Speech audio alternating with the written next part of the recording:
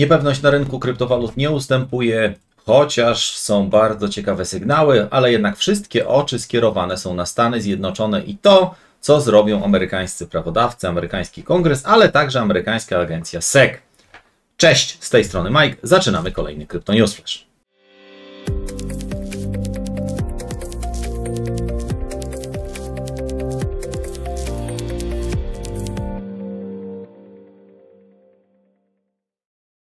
Krypto Newsflash, czyli kolejne 10 minut wiadomości ze świata kryptowalut i technologii blockchain. Przestawiam, przestawiam licznik, przestawiam stronę i zaczynamy. Binance złożył wniosek o nakaz sądowy przeciwko amerykańskiemu SEC-owi. Największa oczywiście na świecie giełda kryptowalutowa oficjalnie złożyła taki, taki, taki court order, jak oni to nazwali, złożo, złożoną został w poniedziałek i chcą oni o ochronę przeciwko regulatorowi. To jest ciekawa.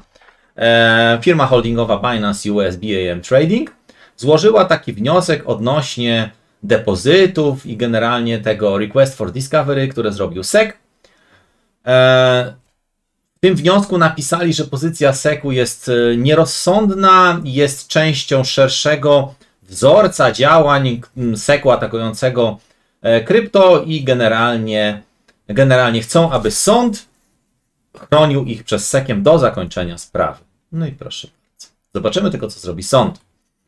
A tutaj słuchajcie, Binance Connect wyłącza się, przestaje działać 16 stycznia. Tak, oczywiście w odpowiedzi na zmieniający się rynek i potrzeby użytkowników. Binance Connect to jest oczywiście regulowane, słuchajcie, E, regulowany od, oddział Buy and Sell, czyli kupno sprzedaży giełdy Binance, zamknie się 16 sierpnia. Zostało to potwierdzone w wymianie mailowej e, poprzez e-mail przez e, rzecznika, rzecznika giełdy Binance.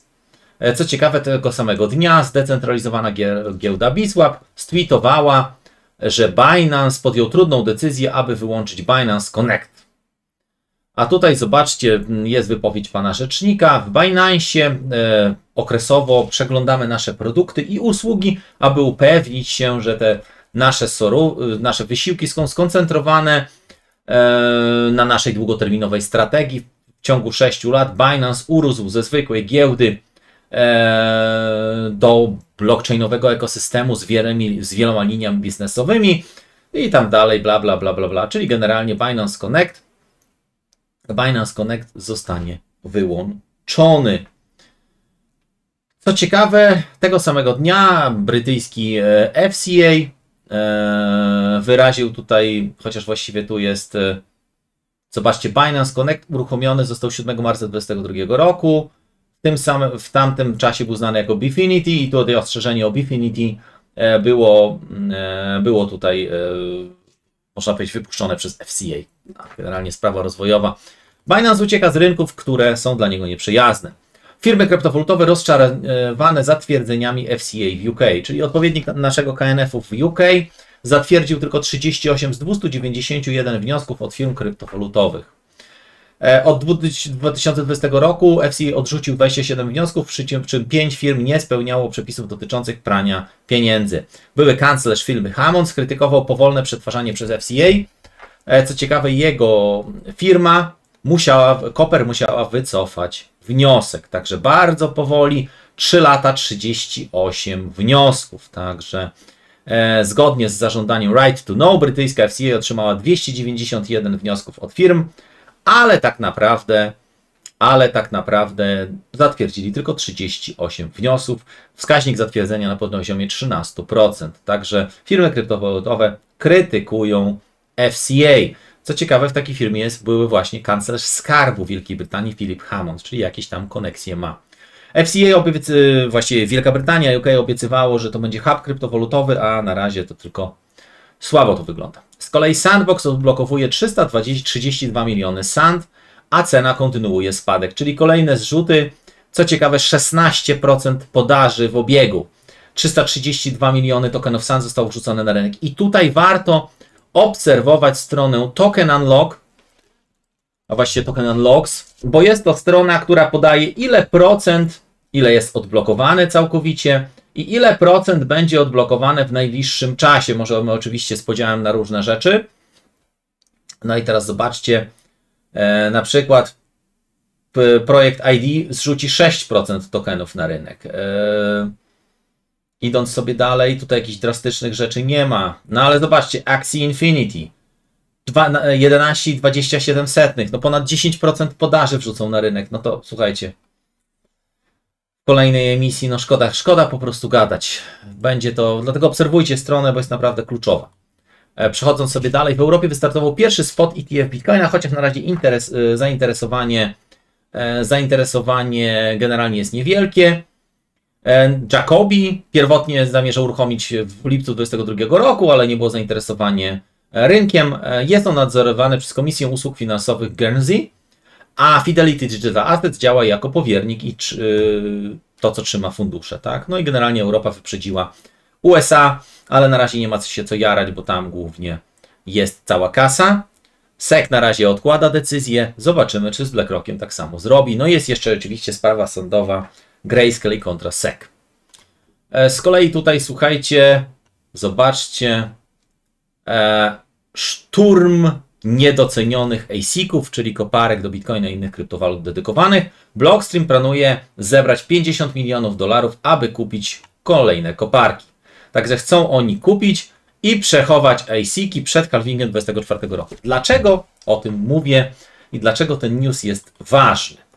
A dlatego, że jeżeli weźmiemy sobie kurs Bitcoina i weźmiemy sobie za cały okres czasu, starsi z nas pamiętają, ci, którzy dłużej są, to jeżeli weźmiemy sobie okres od tego momentu do tego momentu, to jeżeli e, tu było oczywiście, była górka roku 2017, Bitcoin w okolicach 20 tysięcy, ASIC-i drogie. Powiem tak, jak ja zaczynałem zabawę z krypto, gdzieś tam sobie powiedzmy, dużo, no trochę wcześniej, koło kwietnia 2017 roku, to ASIC-i się zwracały w ciągu miesiąca, a później jeszcze szybciej, później zaczęły drożeć, był problem z dostępnością. Mówię oczywiście o Bitcoinie. Tutaj w okolicach grudnia, stycznia, y, grudzień 18, styczeń 19, Endminera jest 9, bo wtedy to była szlagierowa koparka, chociaż chyba już się wtedy pojawiły kolejne edycja. Można było kupić używanego za 400 zł, nawet za 300 zł.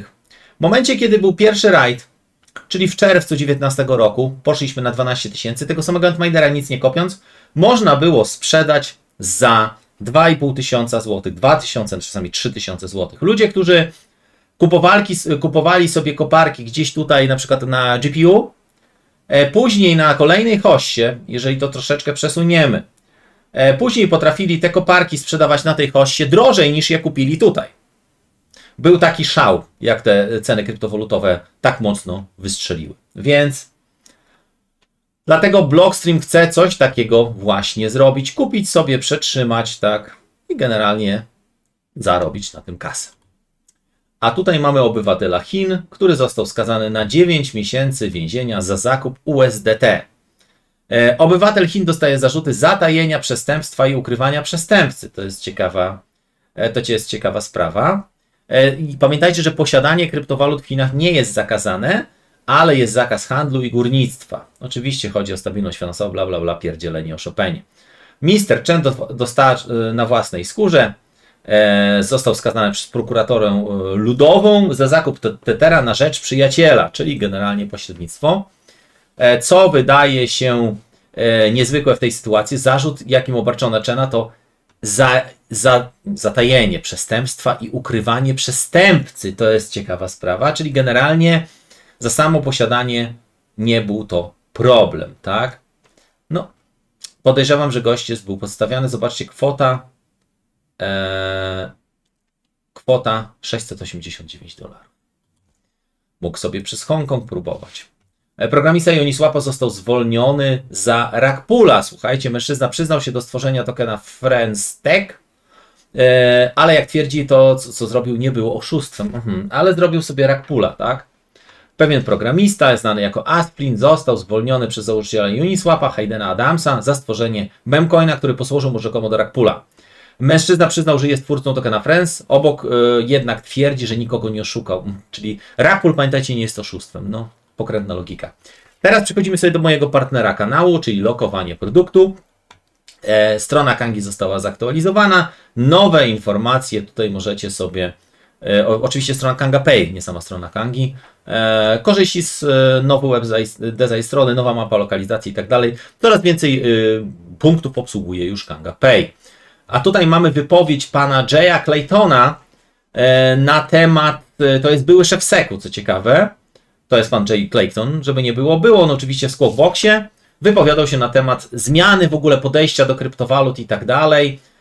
I co ciekawe, E, powiedział on jedną rzecz, to niedobre, nie usłyszycie tego na różnych mediach e, krytyków krypto, że on został oddalony, bo nie chcą się z publiką skontaktować. Nie, że oddalili, żeby później odrzucić. Tego nie wiadomo. Czy odrzucą? Trudno powiedzieć. I na końcu, nie wiem, czy pamiętacie dramy, żeby troszeczkę wyjaśnić, o co chodziło w dramie. Drama była, jak to mówi, mamy dramy o reklamy.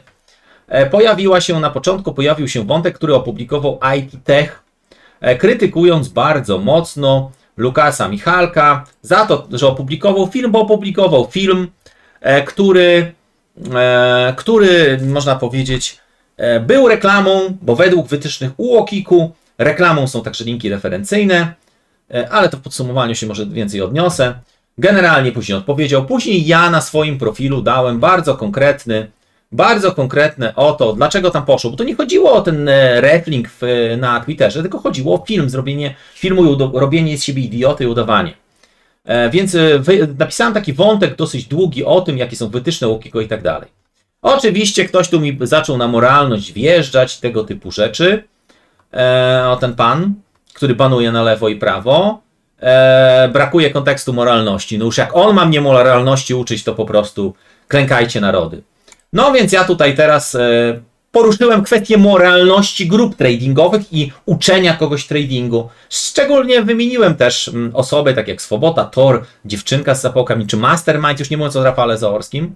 E, mówię, jak jesteście takimi e, kozakami, to wpadnijcie do Pawła Szwajcara i pokażcie, jakimi jesteście kozakami tradingowymi. Czy jesteście tylko kozakami z koszenia Januszy na pseudogrupach edukacyjnych. No.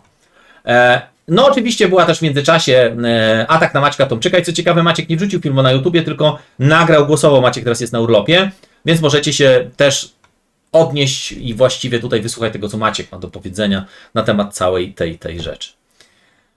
Przechodząc do podsumowania, e, powiem tak, jakim to dziwnym trafem jest, że niektórzy akurat, zobaczcie, że niektórzy do niektórych się czepiają e, słynni łowcy z kamerów i innych różnych rzeczy. Tutaj przykład Bugs Butler, Faceless Trader, Faceless teraz wcześniej był Faceless Trader, a do innych nie. Ja nie wiem, w czym jest problem. Jeżeli ktoś jest normalnym jakimś tam użytkownikiem, nie jest tym, on sobie wrzuci screena i tam jest jego reflink, tak?